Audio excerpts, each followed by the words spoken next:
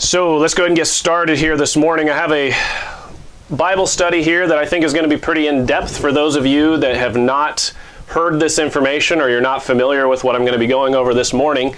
Uh, you are in for a treat. this is really interesting information. And the thing that I want to point out is this Bible that you have in your lap. I hope you have a Bible there in your lap and ready to go. It, it, sometimes we take this book for granted and we forget that this book is a very ancient, ancient document. And it's been translated into our language, and it seems like it's something you know you buy at stores all the time. But this thing is older than the Epic of Gilgamesh, some of the some of the books in this Bible. And this is an extremely old book. This is uh, just as old or, or older than the Egyptian Book of the Dead. Okay, so this is an extremely ancient book translated in our modern English language that we're going to be going over this morning. And the book of Revelation was written around 90 to 95 AD. Okay, so that's over 1900 years ago. And the things that we're going to be looking at this morning is going to be the stuff that you've been seeing on CNN, MSNBC, Fox News, and all the major news networks in the last year. So the prophecies that this book wrote about are coming to pass, and we don't need to try to stretch anything you'll see for yourself that this Bible predicted the things that are going on in our society right now and where this world is heading. And, and it's not hard to see that, yeah, everything that this book says is coming to pass right before our eyes. So I think this is going to be an interesting Bible study. It's going to be uh, very exciting. And for those of you that uh, are, are familiar with this subject or you do know about some of this stuff that I'm going to be going over, um, I've got some new stuff for you this morning, some twists on some theories that we've looked at. I think uh, some of the older interpretations uh, of this particular passage that we'll be looking at, uh, there's some things about it that don't quite fit. And I'm going to try to navigate that this morning and see if we can come up with a theory that works a little bit better. All right? So, Revelation chapter 13. Go ahead and get your Bibles ready and turn there. Revelation chapter 13. I'm going to go kind of fast on some of these things. I'm going to read through these scriptures. Hopefully, you'll have time to turn there. If you don't, you can always go back and watch this again. If I take too much time, this is a big Bible study, and I don't want to have this thing drag out for too long. So I'm going to try to go fairly quickly. So, like I said, I figured I would do something kind of out of the ordinary uh, since we are all cooped up during this out of the ordinary coronavirus pandemic. And uh, let me just start this whole thing off by reading a few notable news items that have come out in the last couple of months to kind of set the stage for what we're going to be looking at this morning. This is from the magazine Futurism, and it says Bill Gates and MIT for many years have been working on technology to track vaccination records via an invisible tattoo. Together, MIT and Bill Gates have created an ink that can be safely embedded in the skin alongside the vaccine itself, and it's only visible using a special smartphone camera app and filter. Futurism explains the invisible tattoo accompanying the vaccine is a pattern made up of minuscule quantum dots, tiny semiconducting crystals that reflect light that glow under infrared light. The pattern and vaccine gets delivered into the skin using high-tech dissolvable microneedles made of a mixture of polymers and sugar. The journal Science Translational Medicine explains the technology as a covert way to embed the record of a vaccination directly in a patient's skin rather than documenting it electronically or on paper. MIT researcher Kevin McHugh, who has worked on the project, said, quote, in areas where paper vaccination cards are often lost or do not exist at all, and electronic databases are unheard of, this technology could enable the rapid and anonymous detection of patient vaccination history to ensure that every child is vaccinated. As for Gates' involvement in the program, he wasn't just funding it as Scientific American reports. But, quote, the project came about following a direct request from Microsoft founder Bill Gates himself. Oh, how nice. Every child on the planet to get a vaccination. How nice. The direction the world is headed in is to vaccinate every human on Earth with a bio tattoo that would serve multiple purposes. It would provide diagnostics of your bodily health in real time, thanks to 5G. It would inoculate you from deadly diseases, supposedly. It would track every citizen so that no infected people could go into, into public places and put other people at risk. Uh, here's another article Jon Rappoport, a journalist from InfoWars, compiled the following information in his article entitled, entitled Passport into the Brave New World The Vaccine. Quote, a digital vaccine certificate would be used to signify immunity for all those who take the shot. It would function as a license, your passport into the brave new world. You know, you're immune, so you're allowed to move out of fear mode and circulate and travel and enter into schools. It would not protect you simply from the coronavirus, but would be pushed as a DNA vaccine that could help protect you possibly from all viruses.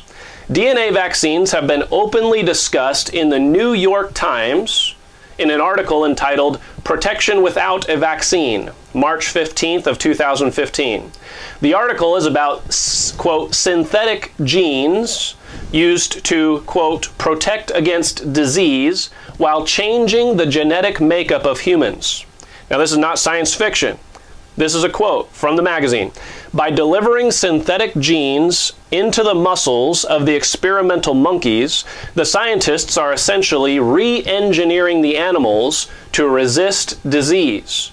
That was reported in the New York Times. They go on to say, The sky's the limit, said Michael Farzan, an immuno- and immunologist at Scripps and lead author of the new study.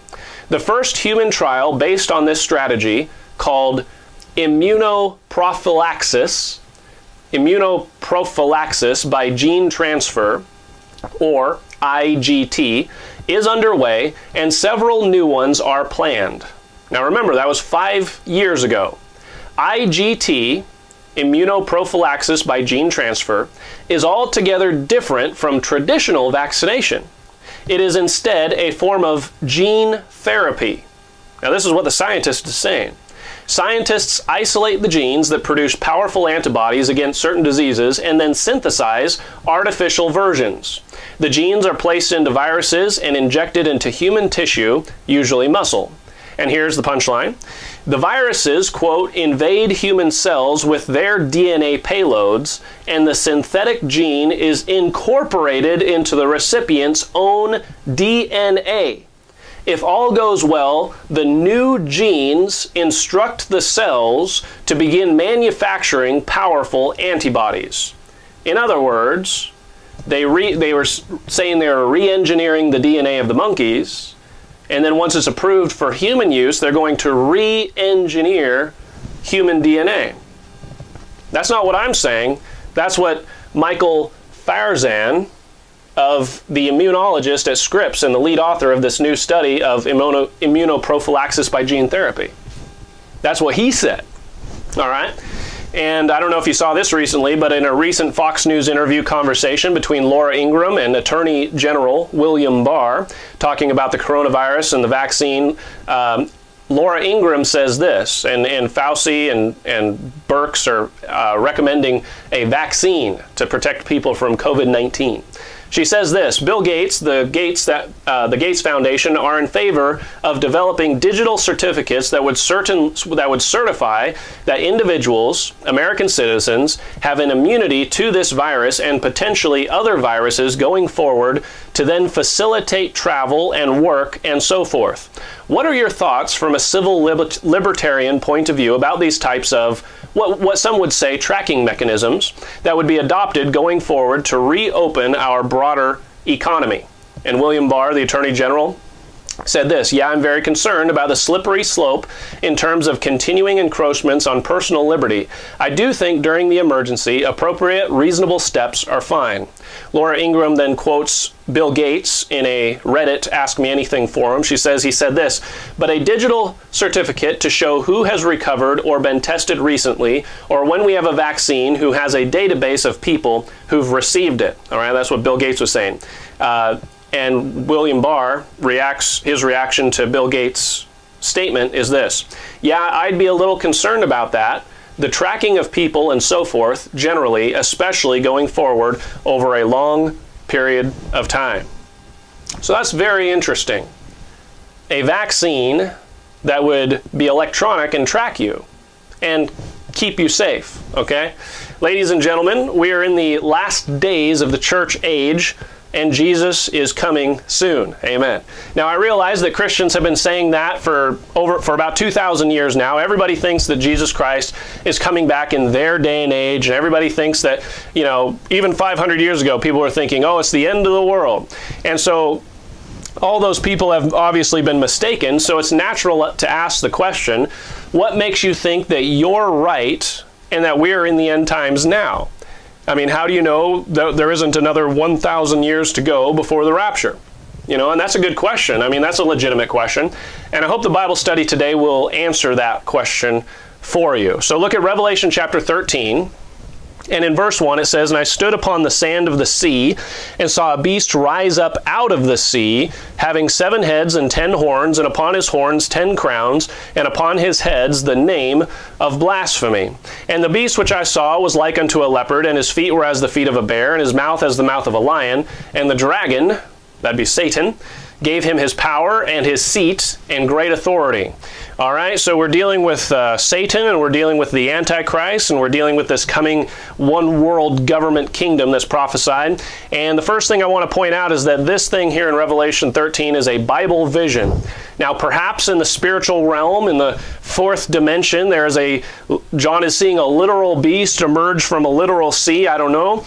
But when it comes to these Bible visions, the various elements of the vision are given for a reason and they're symbolic and they're allegorical of, of something.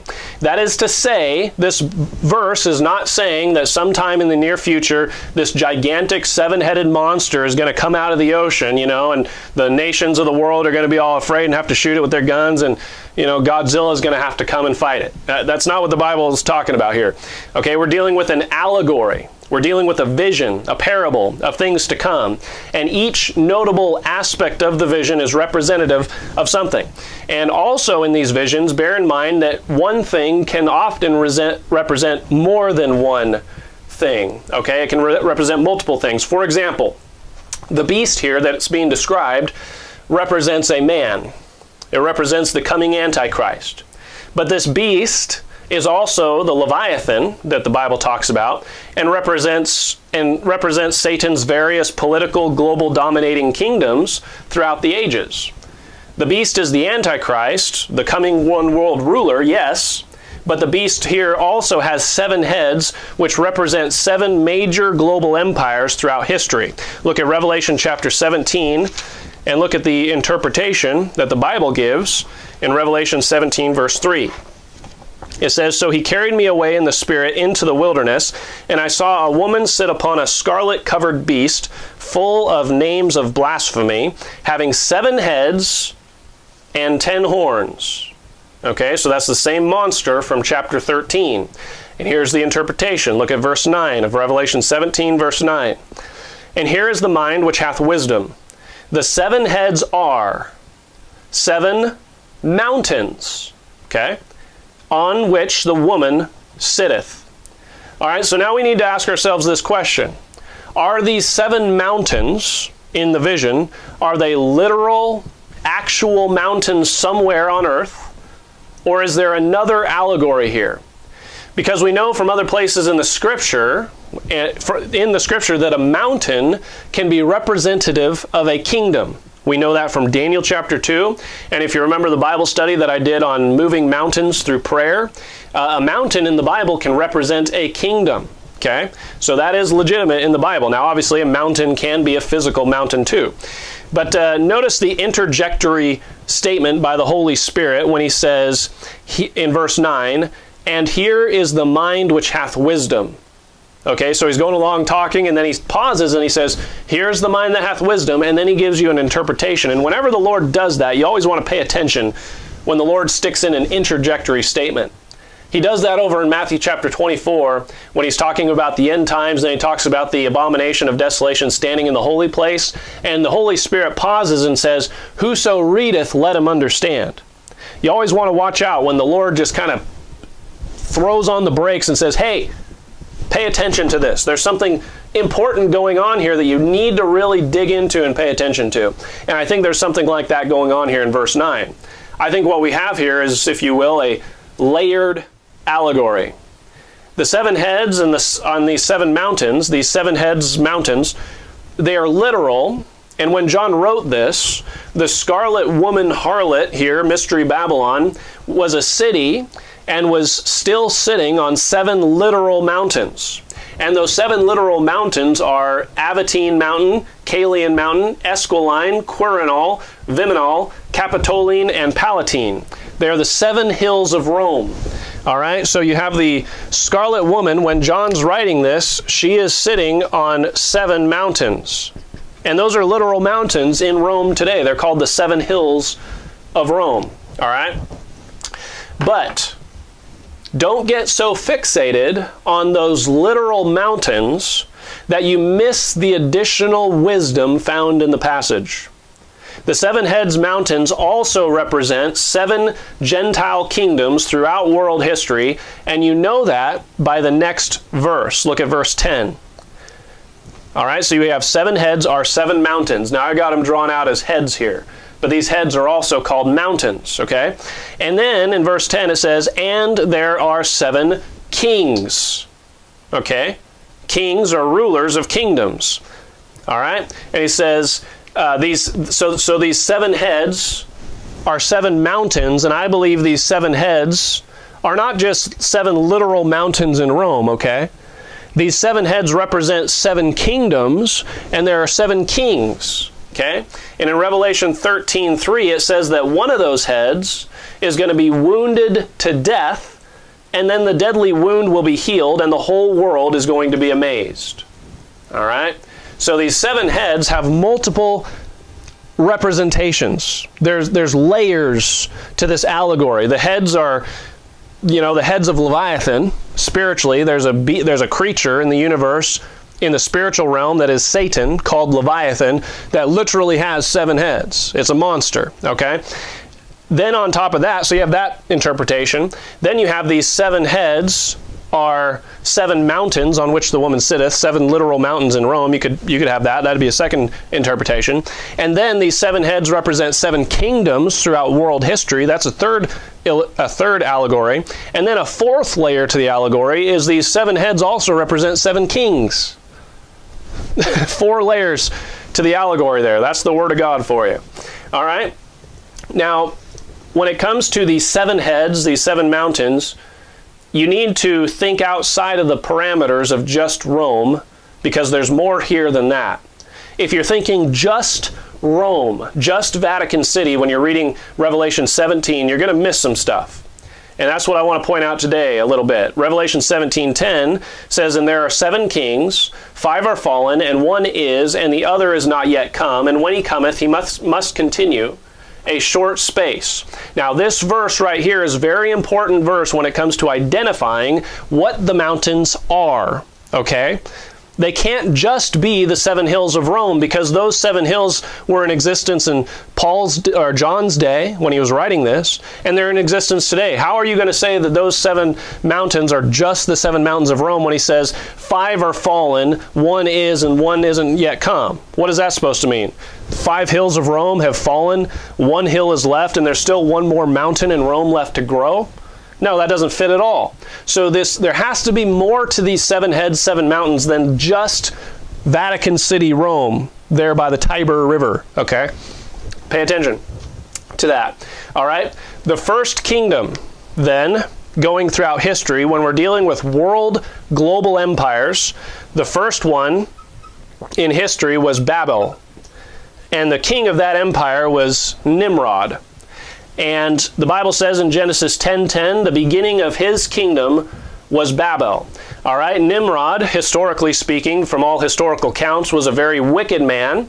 And historically, even our modern depictions of the devil, being this big, burly, you know, pitch black being with horns, that modern depiction of the devil comes from Nimrod. If you trace that thing back all the way back in history, that's what people remembered Nimrod as. It's, uh, it's interesting. But uh, he because he well uh, we did a whole nother study on that. We'll get into that some other time. But uh, the world's first empire was babel where they were building the tower of babel. You remember that in genesis 11 and the world's first official global ruler was king nimrod. And so the other thing to keep in mind with these kingdoms okay while we're going through this is you want to remember that these kingdoms were possessed by a wicked female re- religious, murderous, idolatrous, covetous spirit described in Revelation chapter 17. All right? So this woman, she sits on seven mountains. Now, I believe that the Lord was trying to direct your attention to Rome for a reason, but that's not the only interpretation here. She has sat on every single one of these heads throughout history. She began in Babel with King Nimrod. So the woman is not just the Roman Catholic Church in Vatican City. She's a city that's linked with a spirit that's been on all seven mountains and not just Rome. The first mountain that this mystery Babylon spirit was uh, sat on was Babel. And that's where idolatry began as an official religion. Idolatry began in Babel as an official religion. It started at Babel with Nimrod, Semiramis his wife, and Tammuz his son, and spread out across the globe. And that's why ancient cultures that existed long before Jesus was ever born have religions that worship a mother and a son. And the son is someone who dies and rises again and is supposed to be the incarnation of the father. That's why you have that over in India, you have that in ancient cultures in China, you have that in ancient cultures all over the world.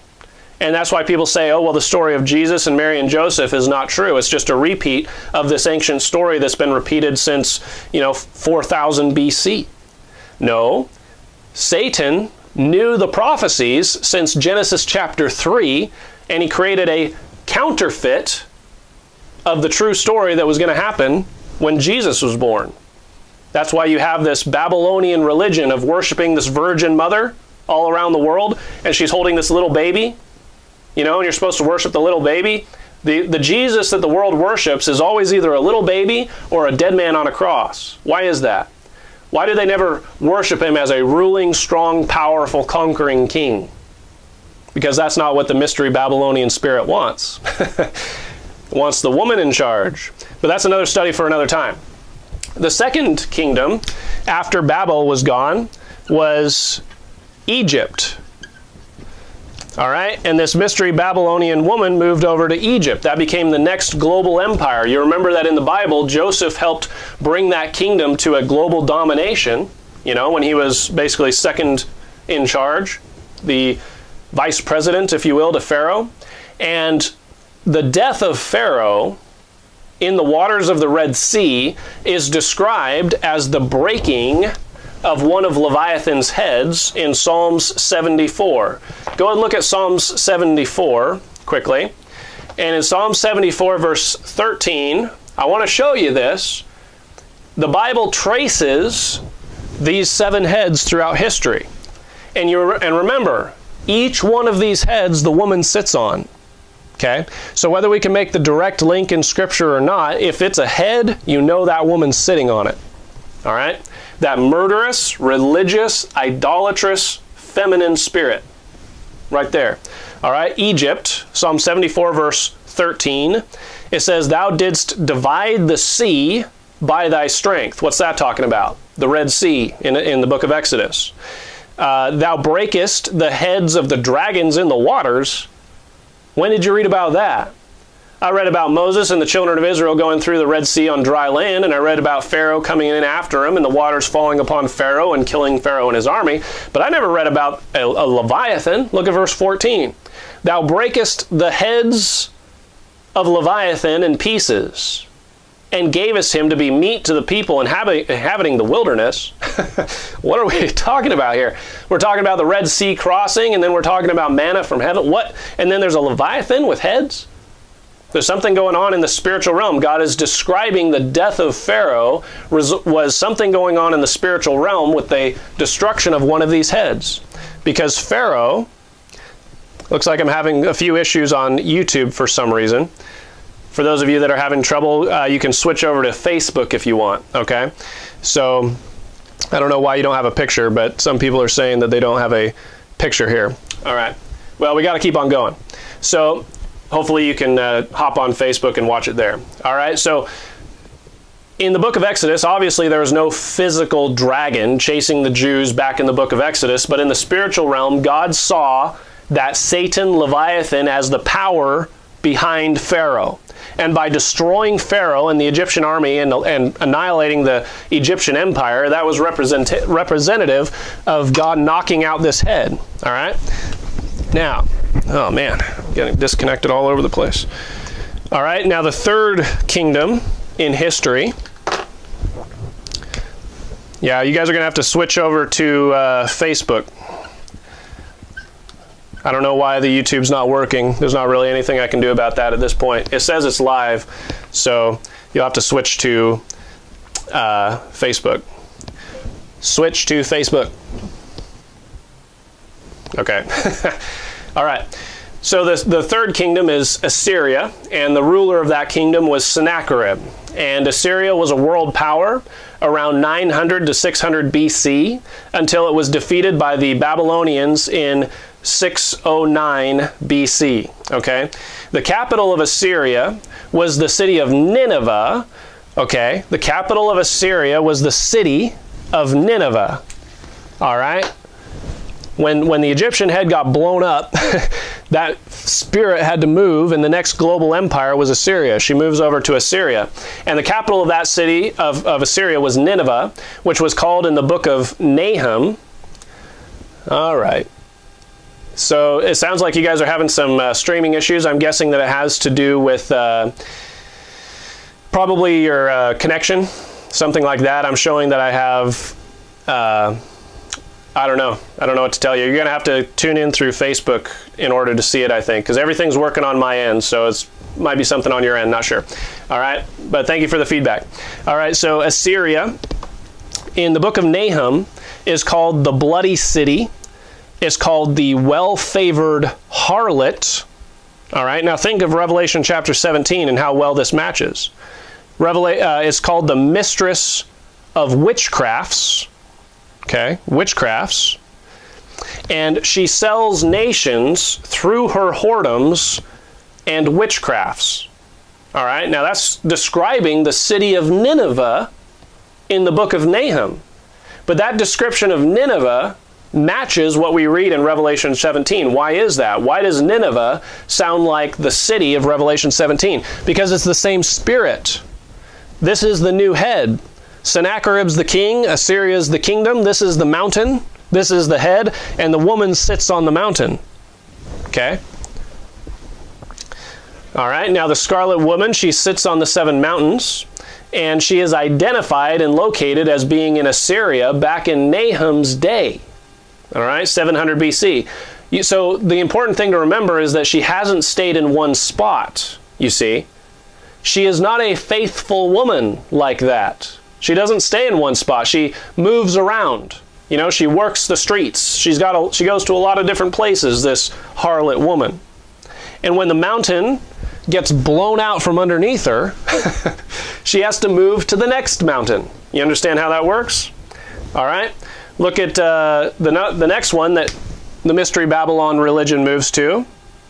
After Babylon, after Assyria is put down, is the Babylonian Empire. The Babylonian Empire under Nebuchadnezzar overthrew the Assyrian Empire, and Babylon became the new ruler of the world. All right?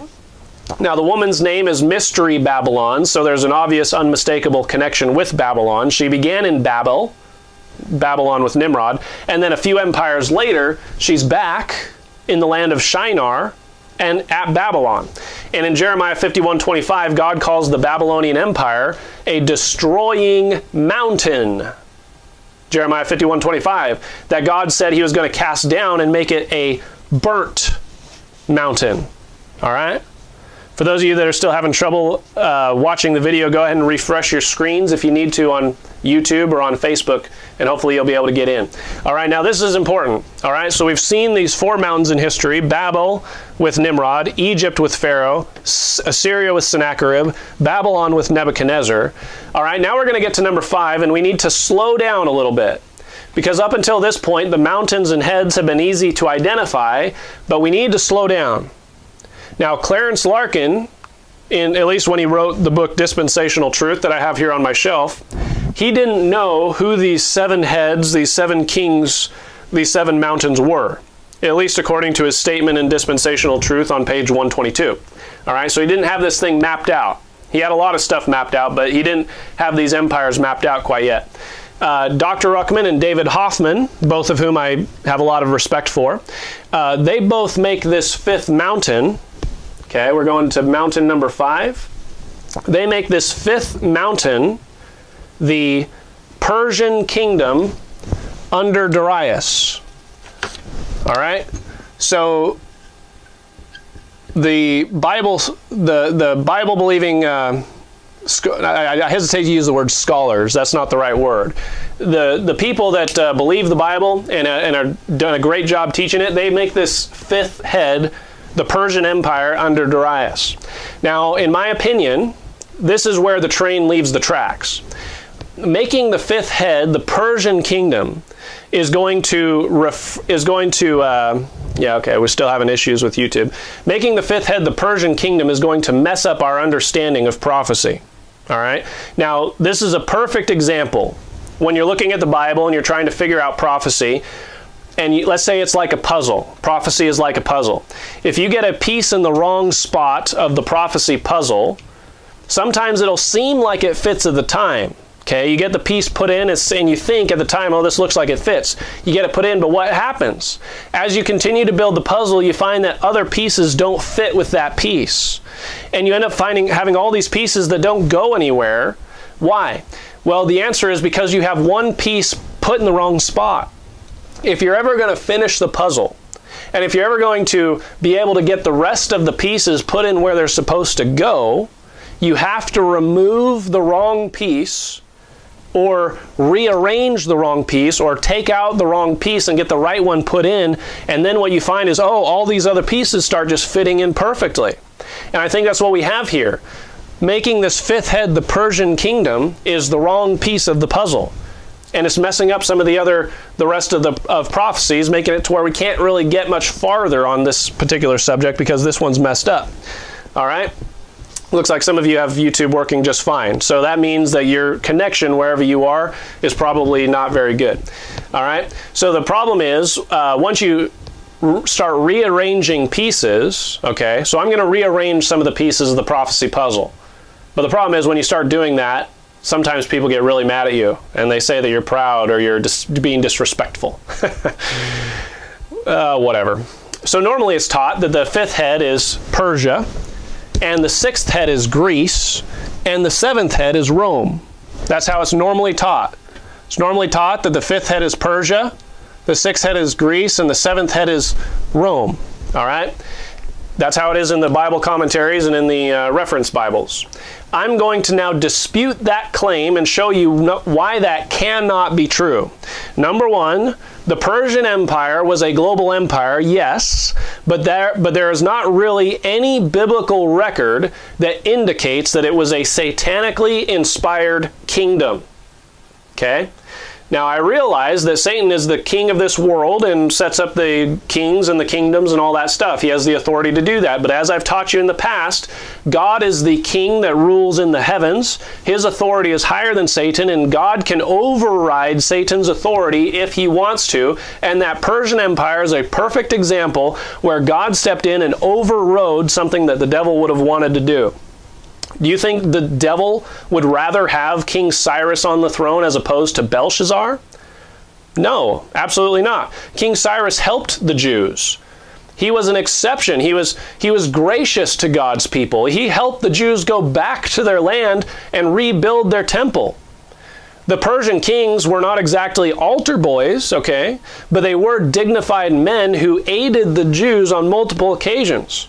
So the Persian Empire was one of those empires where God used his political authority to override Satan's authority. So this this uh, fifth head here, it cannot be Persia. It's not a satanic head, okay? It's not satanic like that. Number two, there is no evidence that mystery Babylon spirit was anywhere in Persia. When you read about the record of Persia and the Persian kings, you don't read about this spirit that's in a murderous, idolatrous, fornicating uh, spirit. You don't read about that connected with Persia at all. And if this head was Persia, this woman would have to be sitting on it, and you would notice it. Number three, Cyrus was one of the four carpenters, I believe, in Zechariah's vision and helped the Jews as opposed to being one of the four horns who hurt the Jews. You remember that study I did on the four horns and the four carpenters. And number four, Rome cannot be the seventh head, as I'm going to prove in a moment. Okay, so if Persia is not the head of the Leviathan, not the fifth head, then we have to move on to the next global kingdom and see if it'll fit. The next global kingdom is the kingdom of Greece. After the Persian Empire, you have the Grecian Empire. Okay, I'm going to move her out of the way a little bit so you can see. Greece.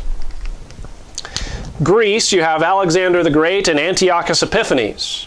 So Greece does fit the overall description of these Leviathan heads in that uh, Alexander was regarded to be the son of Zeus, and the legend was that Zeus had become a snake and slept with his mother and conceived Alexander.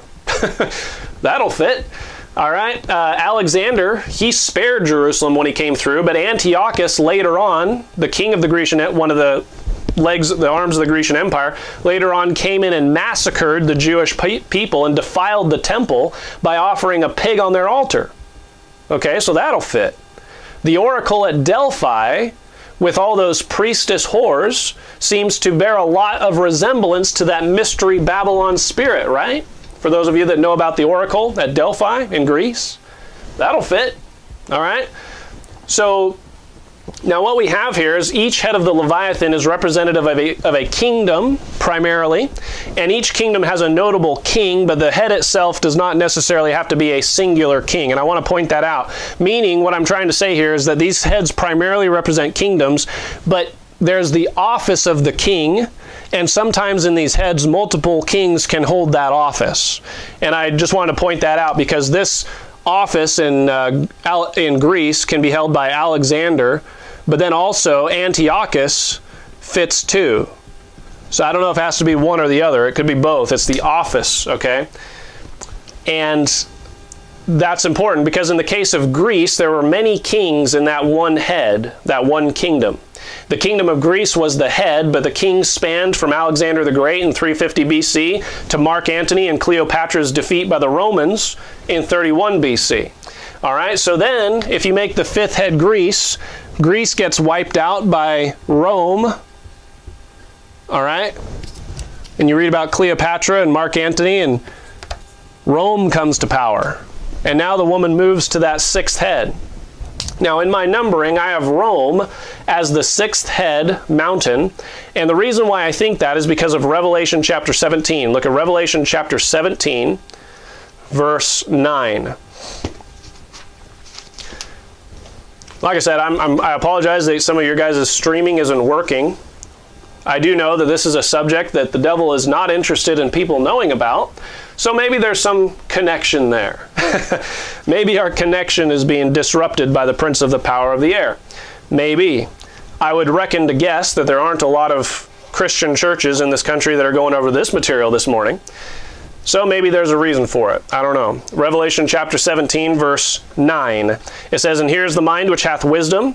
The seven heads are seven mountains on which the woman sitteth. And there are seven kings. Five are fallen, and one is, and the other is not yet come. And when he cometh, he must continue a short space. Now, when the Apostle John wrote these words, it says that five kings had fallen, and the sixth was in power in John's day. John was exiled to the island of Patmos around 90 AD by the Roman Emperor Domitian. He said, Five are fallen. One, two, three, four, five. Five are fallen. One is. In John's day, the one that was in power was Rome. Okay? One is, and then he says the other is not yet come. So Rome has to be the sixth. Again, the fifth head cannot be Persia, as the Bible commentators make it. It can't be. Rome has to be the sixth in order for Revelation 17:10 to be true. All right? All Bible commentators and expositors that I know of assume that Rome is the final empire, the empire of the Antichrist. It, Rome is certainly in the line of satanic empires, but and it is certainly another mountain on which the woman sits, right? But Rome is not the end. In Daniel chapter 2, Daniel has a vision of a giant stone image, and from the top down, each section of the image represents a different kingdom. You have the top head of gold, that's Babylon. Then you have the chest of silver, that's Persia. All right? And then it's important that in Daniel 2, he's giving you the order of the seven global empires, but those global empires do not have to necessarily match all of these heads. And I say that because you have Babylon at the top, and then the chest of silver is Persia. Persia is in that image in Daniel 2, but Persia is not one of these seven heads. That's important.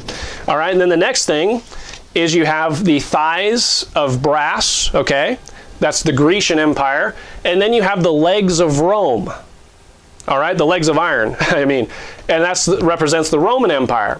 And as each kingdom changes, the materials change, but the kingdom doesn't end with Rome, right? The, the feet are not of iron. The legs are of iron and the legs are Rome, but there's a change in the structure, the molecular structure of the feet, meaning that there's another kingdom that has to come after Rome. Okay? There are two more noteworthy things that come after the legs in Daniel chapter 2. You have the feet of iron and clay. That's the seventh kingdom. The feet are different from the legs, they're not made out of just iron. And that shows you that there has to be another kingdom after Rome. That is very important because nobody's putting that, no, nobody teaches that.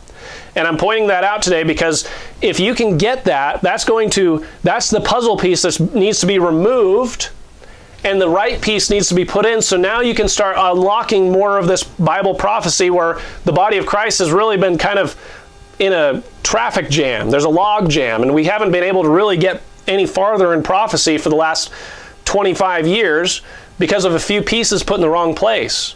Everybody makes Rome the final kingdom. It's not. There's another kingdom coming. All right, Rome is the sixth head, and according to Daniel's image, Rome is still in charge. The Roman Empire began with the pagan Caesars ruling, okay? But the Roman Empire is still in charge today. It's still the global empire. Now it's been diminishing in its power, but the Caesars were called Pontifex Maximus. And now the popes have that same title, Pontifex Maximus. Pope Francis is Pontifex Maximus. Rome is still the ruling global kingdom except instead of ruling by brute force like they used to, back under the pagan imperial Caesars and the early days of the popes when they'd go in with their armies and just overthrow nations. They don't rule by brute force anymore. The Roman Empire today rules by infiltration, subversion, coups, blackmail, and bribery. A lot of it through the Jesuits. The Roman Catholic global domination really took a beating by Martin Luther and William Tyndale and their work in publishing the Bible, first in German in 1545 and then in English in 1611 with the King James Bible. All right, and Rome has been in decline ever since. But as I've taught before, the third carpenter needs to finish off the Roman ruler, the Roman rule, before the fourth horn can come. The fourth horn is the Antichrist. But in those four horns, four carpenter study, you can't have the fourth horn, okay, the Antichrist, until the third carpenter wipes out the third horn. You have the third horn, that's the Roman Empire, and then you have to have a third carpenter to knock out the Roman Empire to make way for the Antichrist's empire. All right? Another reason why I think Rome has to go. I think there will soon be a massive split in the Roman Catholic Church, which will be, result in a Catholic Reformation. Now, that's my opinion. I don't know if that's how it's going to work, but the Catholic split is Catholic Church has split once before, around 700 BC, uh, AD, and it went to the Eastern Orthodox and the West uh, like that. So it split before, so it could split again. And the once great mountain of Rome will finally wither to nothing and once again, the mystery Babylonian spirit will have to find another mountain. You see, a lot of the prophecy teachers get so fixated on the Roman Catholic Church there in Revelation 17 and 18 that they miss all of this other stuff and they miss that this spirit, the Roman Catholic Church, whatever that spirit is that's behind that organization, is going to have to move one more time onto this seventh head. She's got to move one more time. The next mountain, the next kingdom, will be the seventh mountain. The seventh head mountain kingdom will be ruled by that man who is the beast, and that mystery Babylonian, Babylonian spirit will have to move to that mountain. All right, Revelation 17:10. Try to follow me if you can. And there are seven kings, five are fallen, and one is, and the other is not yet come. When he cometh, he must continue a short space. Okay? There's one that's still to come. In John's day, Rome was in charge.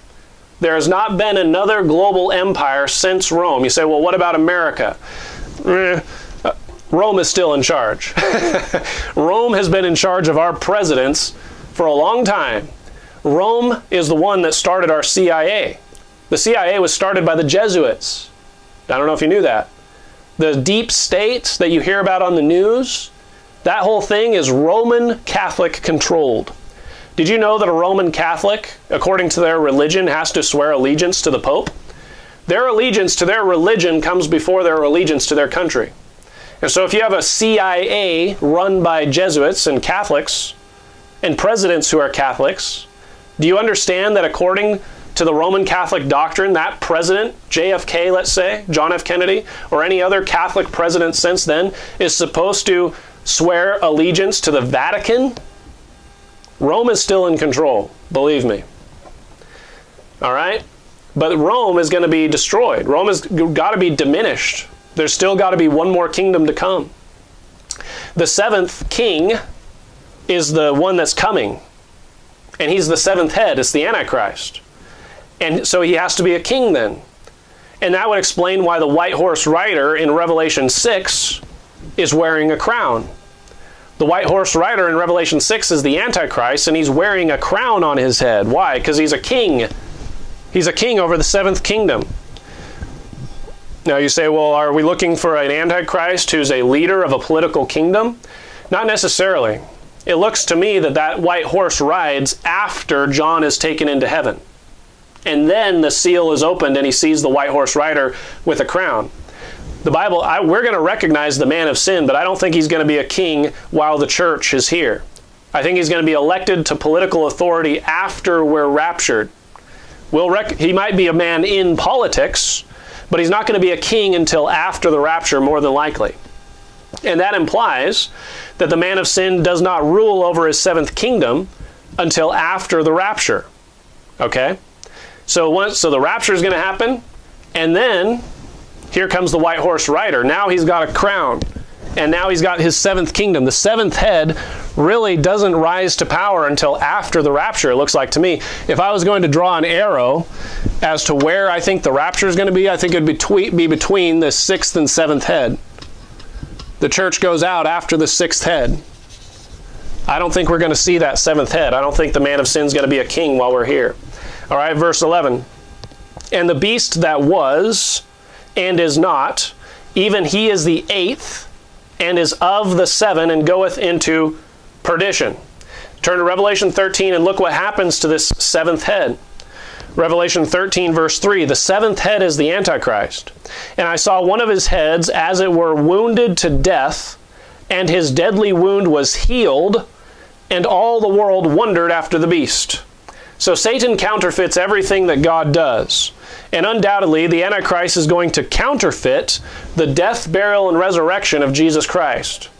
He is actually going to rise from the dead. By all indications, it looks like he's going to be assassinated and rise from the dead, but his resurrection is going to be by the power of Satan. The seventh head would die, rise from the dead, and then become the eighth head. So the Bible talks about seven heads, and then it talks about this eighth head of the dragon. But the eighth is the seventh. The seventh gets killed, knocked out, and then rises from the dead. And so you have still seven heads, but the seventh head is also the eighth head, okay? Now, hopefully you're able to follow along with me on this. I know it's a lot of information. But like I said, we could go on for three hours with this stuff and try to break it all down detail by detail, but we got to get through it. All right? Pay attention that the woman, she sits on the seven mountains. She doesn't sit on the eighth mountain. She doesn't sit on the eighth head. You say, why? Because she's destroyed after the seventh head. Look at uh, Revelation 17 12. This seventh head is interesting. This seventh head, this coming kingdom, is going to have ten horns on it. Revelation 17, verse 12. And the ten horns which thou sawest are ten kings, which have received no kingdom as yet, but receive power as kings one hour with the beast. So it says they are kings which have received no kingdom as of yet. Now I've got uh, 10 horns here on this last head, this seventh head. Those are, those are 10 kings, the Bible says. But they're kings without kingdoms. Now that's weird. Here's a riddle for you. How can these be 10 how can these be 10 individuals? Sorry, let me re- rephrase this. How can these 10 individuals be kings without kingdoms? How can these 10 individuals be kings without kingdoms? It says they are, they are kings, but have received no kingdom as of yet. So they're kings without kingdoms. That seems backwards. You have to be you have to have a kingdom to be a king, right? So how are these people kings without kingdoms? Chew on that for just a minute. Think about that. That's an interesting Bible riddle. The 10 kings correspond with the 10 toes on Daniel's image there in Daniel chapter 2. I'll read for you Daniel chapter 2, verse 41. Now, this is all very important future prophecy. And we're seeing it fulfilled right before our eyes. This seventh head, the seventh kingdom, is coming soon. And there's 10 kings associated with it. And we are in the very, we are in like the ankles of the Rome of the uh, iron legs. Okay, so we're at the very end. We're about to get to the feet, the seventh kingdom there. All right, and we're at the very we're in the ankles. We're at the end of those iron legs, the Roman Empire. The thing's about to fall. All right, uh, Daniel two forty one. And whereas thou sawest the feet and toes, ten toes, ten kings, part of potter's clay and part of iron, the kingdom shall be divided, but there shall be in it of the strength of the iron, for as much as thou sawest iron mixed with miry clay. And as the toes of the feet were part of iron and part of clay, so the kingdom shall be partly strong and partly broken.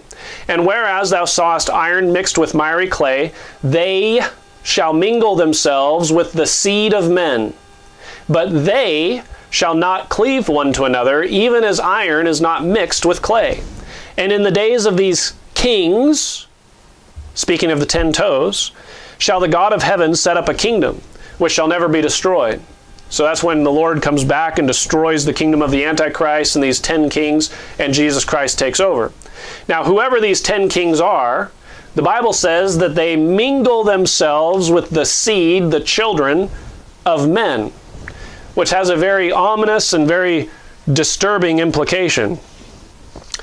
If they are mingling themselves with the seed of men, which would be humans, it, it means that these 10 are not human.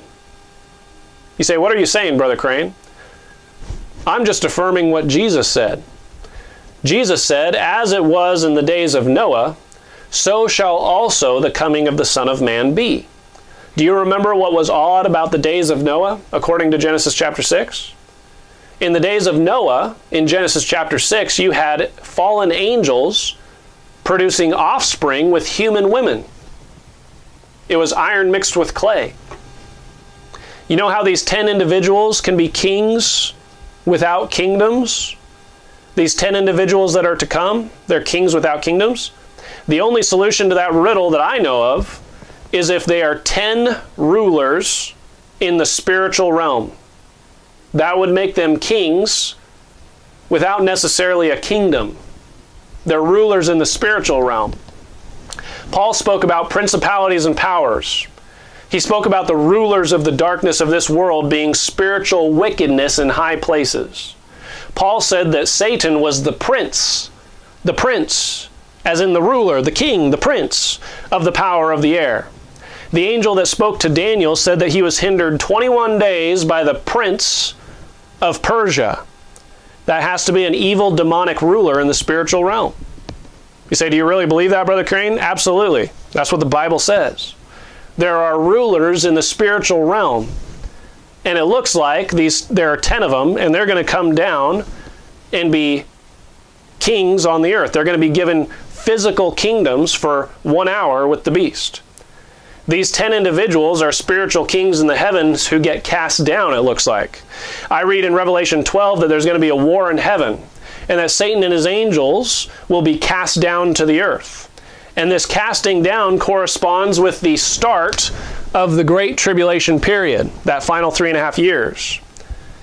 The fall of Satan correspond the fall of Satan from the heavens to the earth corresponds with the Antichrist rising from the dead. And I suspect that those 10 kings will be 10 fallen angels and will be part of that fall. That is to say, the Satan as the Antichrist, Satan is, is the Antichrist risen from the dead here. The Antichrist is a man possessed with the spirit of Satan, just like he, he basically is Satan manifest in the flesh at this point. And with him are 10 kings that come down. The 10 kings, I believe, show up right here now, we've been raptured long out before then, but the ten kings come down and they show up right there. Now, think about that. Think about what's going to be happening in the world at that time.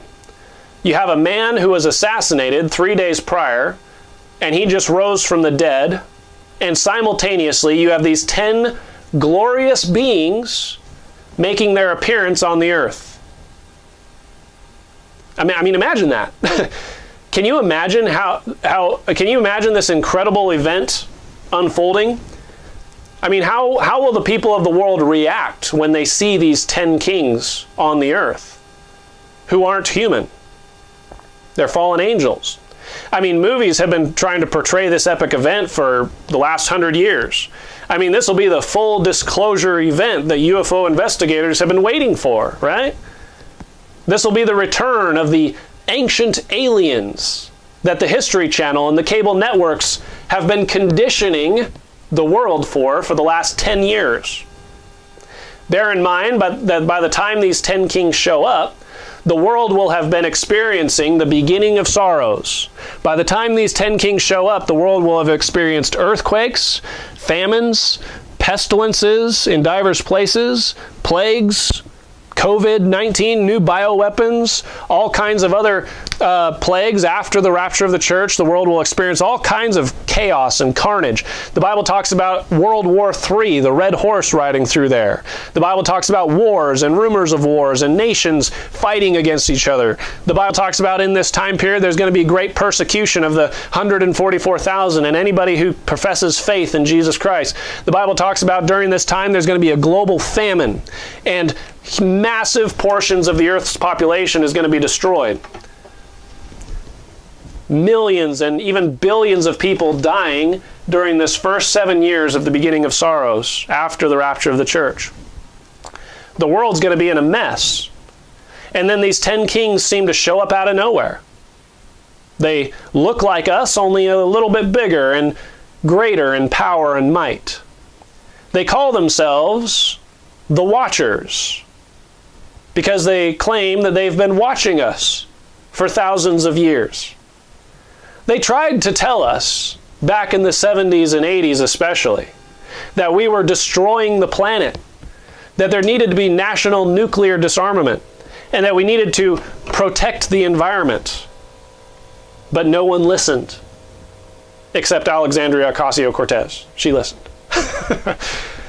and now, these ancient aliens, these gods, have come down to save us from ourselves.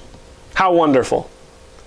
Now remember, since the man of sin was a king at this time of the seventh mountain, when he rises from the dead, he's still a king in, in, of that one kingdom.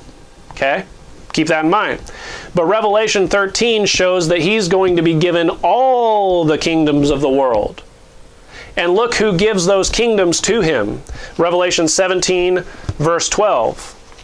And the ten horns which thou sawest are ten kings, which have received no kingdom as yet, but receive power as kings one hour with the beast. These have one mind, and shall give their power, their power and strength unto the beast.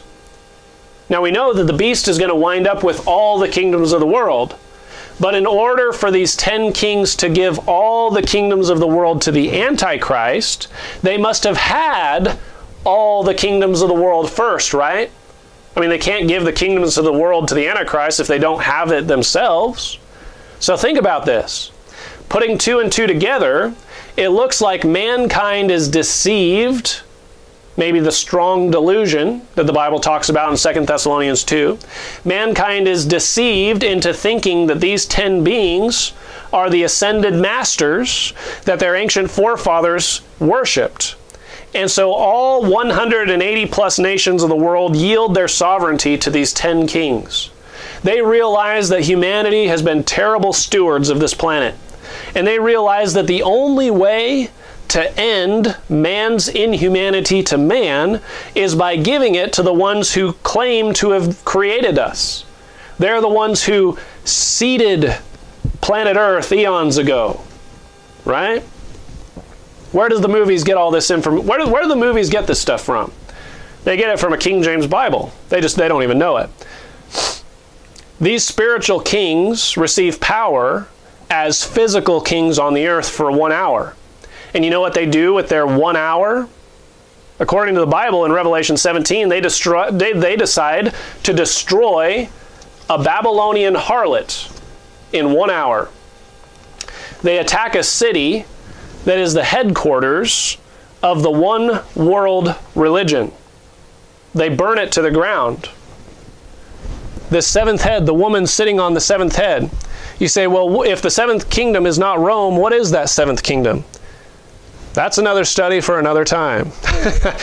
but this final seventh kingdom that comes into power after the rapture, this woman is sitting on that head. And when these ten kings show up, they burn her to the ground and she's gone.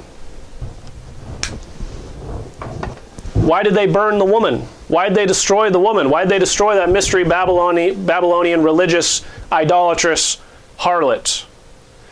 Well, the answer is simple. Haven't you heard?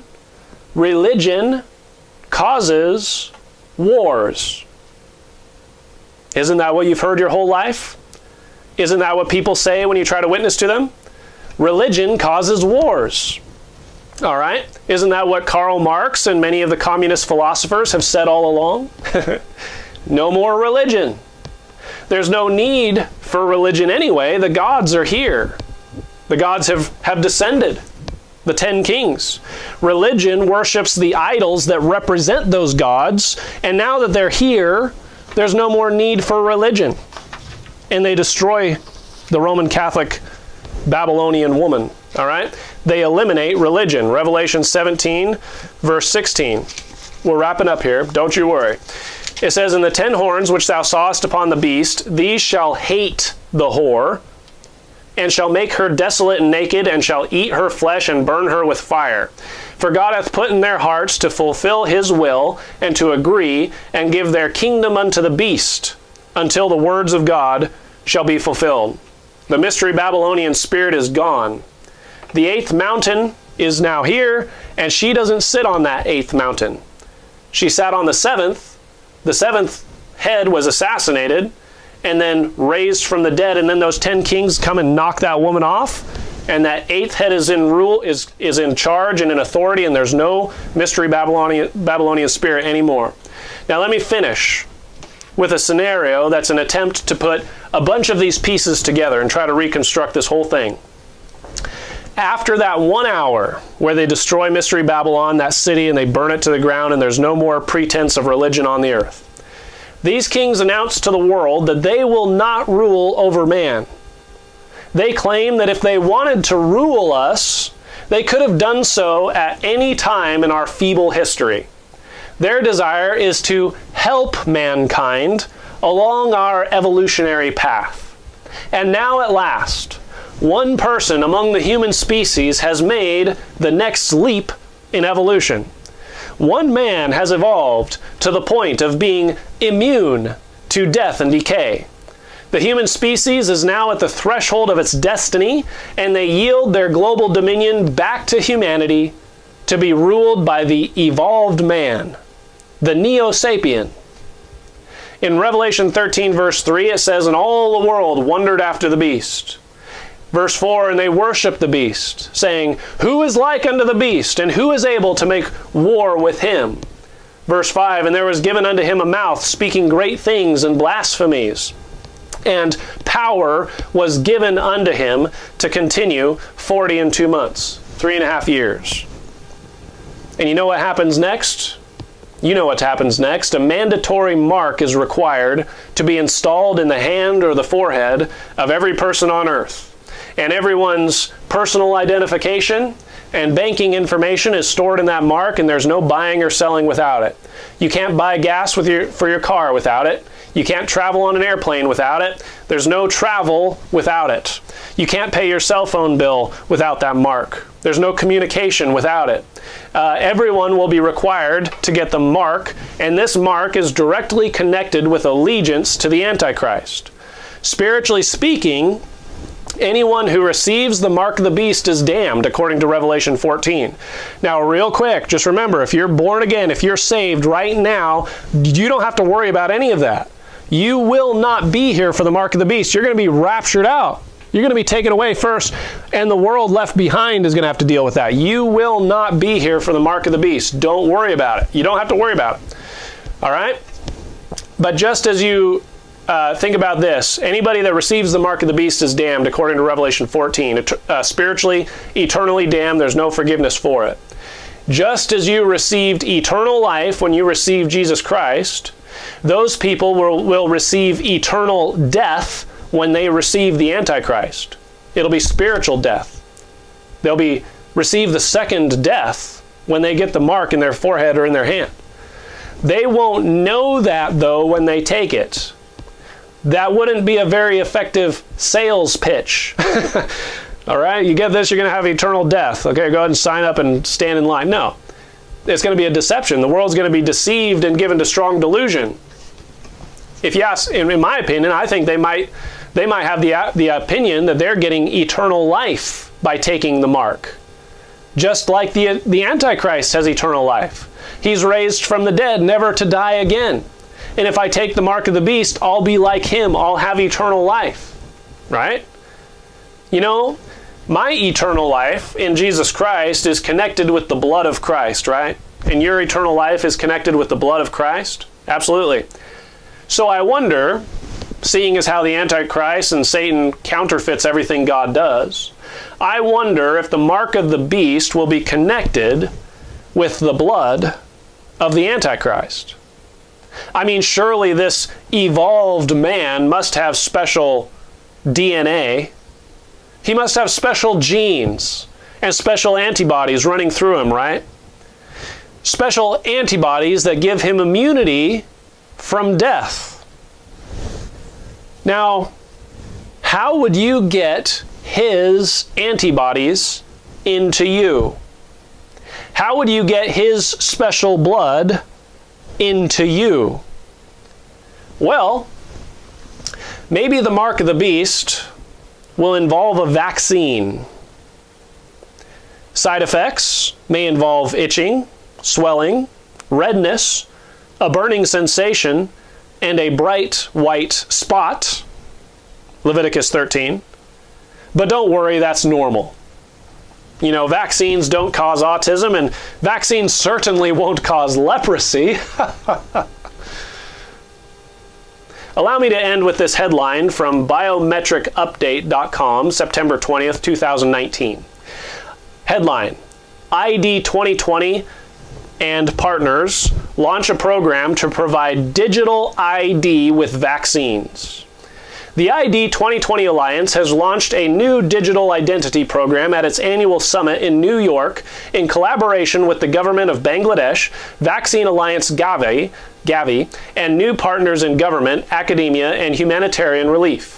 The program to leverage immunization as an opportunity to establish digital identity was unveiled by ID 2020 in partnership with the Bangladesh government's Access to Information Program, the Directorate General of Health Services, and Gavi, GAVI, according to the announcement. Digital identity is a computerized record of who a person is stored in a registry. It is used in this case to keep track of those who have received a vaccination.